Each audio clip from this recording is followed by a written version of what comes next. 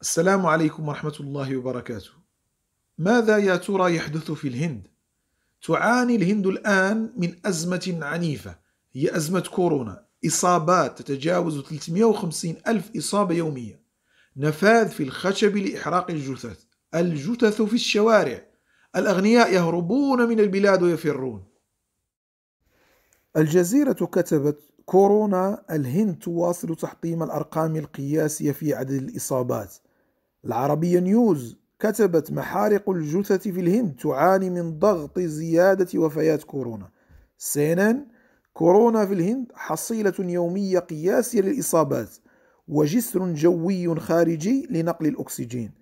وهذه الصورة المرعبة نشرتها وكالة رويترز الأنباء وهم يحرقون الجثث. العربية سكاي نيوز الهند كورونا تبتلع مدنا وبحث مضن عن مقابر. هناك جائحة عظيمة في الهند. الموجة الثانية من كورونا حطمت الهند بنوويها وبأسلحتها. لايرتي تقول أغنياء الهند يهربون بعد انتشار وباء كورونا. لعل العديد منكم تابع هذه الأمور عبر وسائل الإعلام. لكن لماذا أهتم أنا بهذا الموضوع وأخصص له حلقة خاصة؟ الجواب دفاعا عن الإسلام والمسلمين. قد تستغربون من هذا الجواب لكن الأمر كذلك. حق لكم أن تستغربوا لأن ما سأقوله الآن لم يهتم به الإعلام. في العام الماضي الحكومة الهندية حرضت على المسلمين واتهمتهم بنشر فيروس كورونا بل ومنعتهم من دخول المستشفيات ويسألون عن ديانتهم إذا أصيبوا بكورونا قبل دخولهم إلى المستشفى. هذه صورة مسؤول هندي. يقول إن الباعة المسلمين يبصقون على الخضروات ويساهمون في نشر فيروس كورونا لأنهم مصابون به. اسمعوا ماذا يقول. يتهم المسلمين واستغلوا الظرف ليقاطعوا المسلمين ويحرضون على عدم البيع والشراء معهم. هذا الكلام كان بتاريخ 20 ماي في السنة الماضية أي 2020 وأنتم تعلمون ماذا يقع للمسلمين بالهند. وفي دول آسيا هم أقليات فقد أبيحت أعراضهم ونهبت أموالهم وسفكت دماؤهم.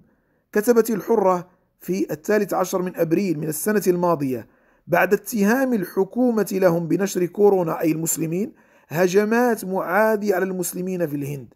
دي دبليو بتاريخ 15 5 2020 تقول الهند المسلمون يواجهون من جديد وصمة نشر كورونا.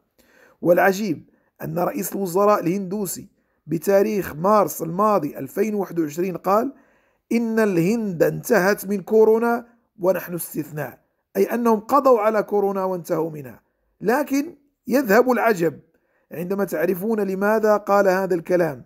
قالوا حتى يحتفل الهندوس بمهرجان هولي الشركي المقدس عند الهندوس ويوافق هذا المهرجان أواخر شهر فبراير وأوائل شهر مارس من كل سنة.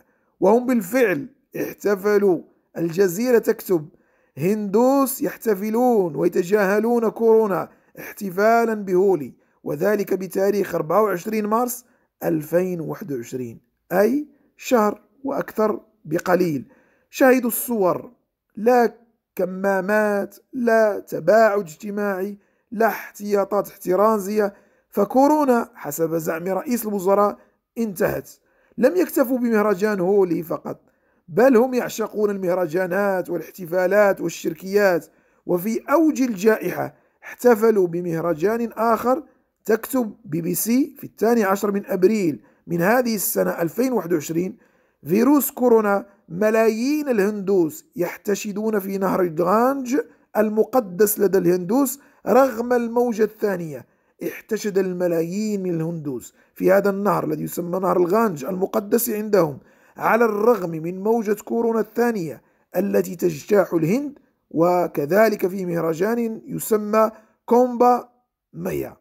أورونيوز في تاريخ 23 مارس 2021 تكتب آلاف الهنود يشاركون في احتفالات مهرجان هولي للألوان دون احترام تدابير الوقاية من جائحة كورونا. إخوة الإسلام الإعلام العالمي لا يتحدث عن خرافات وشركيات الهندوس وتعنث ساستهم للاحتفال بمهرجاناتهم الشركية ولا يتحدث عما يلاقيه المسلمون من اضطهادات وتعنيف وتنكيل وتقتيل وتبكيت وقهر واتهامهم بأنهم وراء كل شر يصيب الهند.